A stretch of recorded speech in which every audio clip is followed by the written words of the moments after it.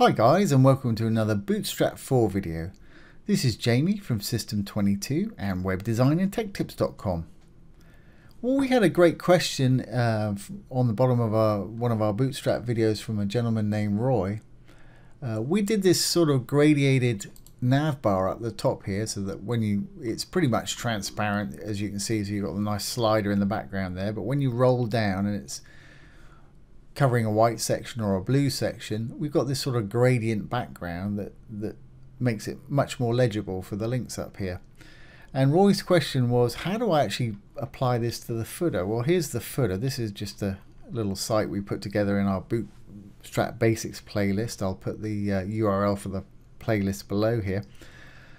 Um, very easy, Roy, and I'll show you exactly how to do it. Not quite sure why you'd want to do that for the footer, but that's entirely up to you.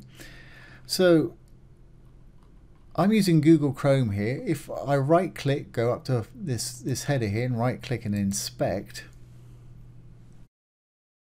we can see it's right here and it's got the TRN class that we gave it and we gave it that background image of a linear gradient which is the gradient we've got up here. Let's just copy this background image, left click, just drag it across. Like I say, I'm using Google Chrome. Hit F12 or right click and hit inspect and it'll bring up this console. Uh, as long as you've got the styles selected on one side, yours might be up on the side or in a different place, but uh, you can change that with the three buttons here. As long as you've got the styles selected, the tab, you'll have CSS here, and as long as you've got elements selected, in the other one, you'll have HTML here. So I'm just copying a bit of this CSS, which is this gradient right here. Now let's slide on down to our footer. And I'm going to right click and inspect that. It should take me to it. In fact, I saw that before I got there. Here's the footer. And at the moment, the footer's got a background of uh, almost black 222. So let's just uncheck that and paste in that gradient.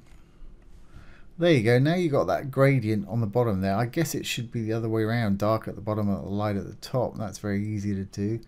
Just click, left click until you're inside there and we'll flip that 1 to a 0 and we'll flip this 0 to a 1. There we go. Now we got the gradient at the bottom. Presuming that you're happy with that, we'll write it into our CSS style list. So we're in footer, background image, Here's our folder with all our files in it. Here's the custom CSS that we wrote for this particular site. I'm going to right click and open it with my text editor brackets. If you don't have a text editor, brackets is awesome. It's free and I'll put a download link below this video also. Let's go down. I'm sure we must have a footer entry down here somewhere. Or I could just hit Control F and type in footer. There it is. Okay, footer, there's the background right there. So if we go back, I'll just get that out of the way, and presuming we're, we're happy with that, all we need to do is copy this bit of code that we've put in there. Control C. Back to our brackets text editor, to our footer entry right here. Replace the background there with this. There we go. Now save. Control S to save. Now we can go back to the site, close down the inspector and refresh the page. That should stay exactly the same. There we go. So that's how you put your the gradient that we used up the top there on the bottom.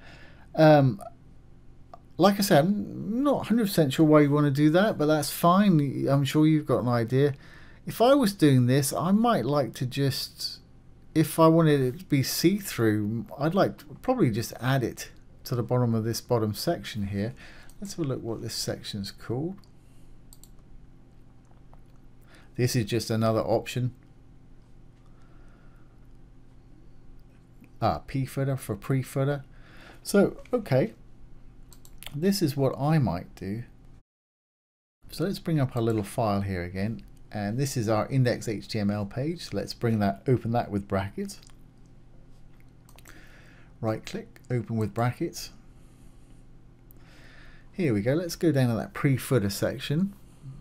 It's not going to be too far. Here's the actual footer. Here's the pre-footer obviously. What I'm going to do, so I'm going to, where it says footer there, I'm going to take everything from within it and copy it or cut it. And I'm going to put it just after our last entry or our last div in the pre-footer section above. You see this is the p-footer or pre-footer, whatever you want to call it. Here's that sort of opening container for it and just below it I'm going to have this outside the container you can put it inside the container if you want to one up but I'm going to put it outside I'm just going to paste it. I'll give it a bit of space because I'm going to undo this because I don't want to keep it. I'm just going to paste it in there. And then what I'm going to do is I'll comment this out so it's not here. I'm just going to comment it out rather than delete it because I'm going to pull it back in a minute.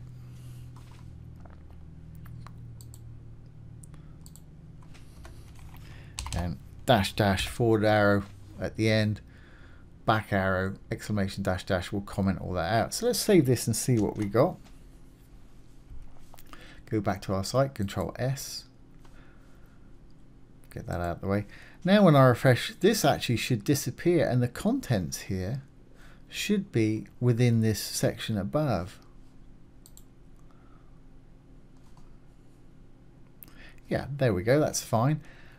Might like, we're right at the bottom here, I might like to add a bit of padding to the bottom there just because it's buffered way down at the bottom there which is which is okay but I want just want to give it a bit more breathing room.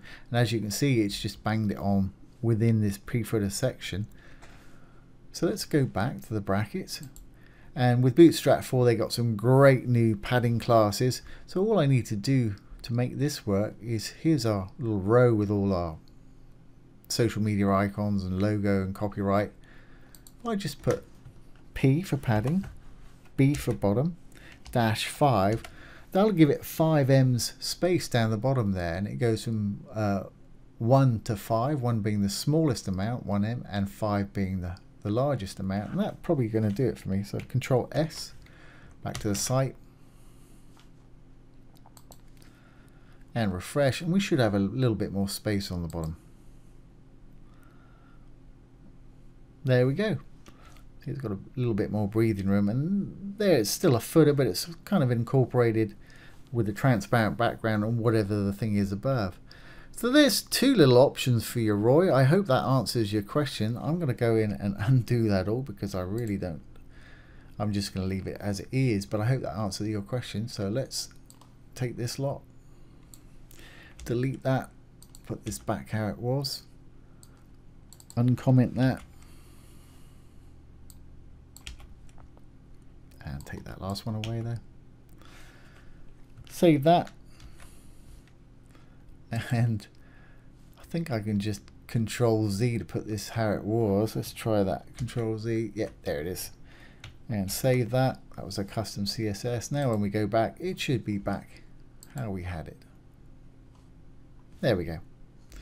Fantastic. Well I hope that's answered your question Roy and helped you out. I hope you've enjoyed that anybody that's been watching if you've enjoyed it please give it a thumbs up share comment and subscribe to our YouTube channel if you're interested in web development, take a look down below. We've got some great free courses down there, as well as some premium courses with some huge discounts for our YouTube subscribers, so do check it out.